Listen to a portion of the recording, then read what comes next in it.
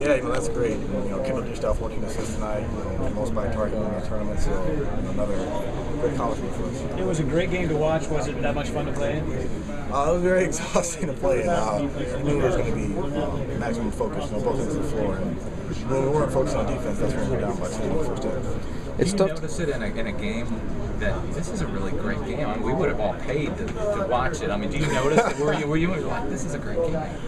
Uh, it, it felt like that. Um, we just we just always finish on top. That's what we were trying to do the whole game. Did anybody want to smack Henson uh, a couple of times there? Uh, you know, after he made that uh, that tip to send Dex to the fifth line, you know, we were all just we would have done anything for him, and then we almost go to that last shot. You know, we could have shot him on the floor. So it was just uh. It's strange to talk about defense when you let up 83 points, but defense down the stretch seemed to be the difference. Can you talk about the defensive effort and the turnovers you created down the stretch? I mean, we're a very good basketball team. You know, they gave us all we had today, and we knew we weren't going to be able to completely stop them from scoring. But we you know, tried to challenge the shots. You know, Ross had a big night.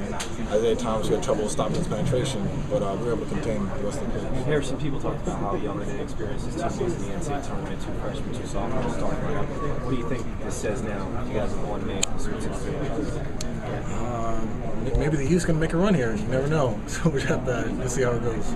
Talk about how it's such a fine line between winning and losing. I mean, Washington's a great team. I mean, you, you guys are still playing right now, but they're awesome too.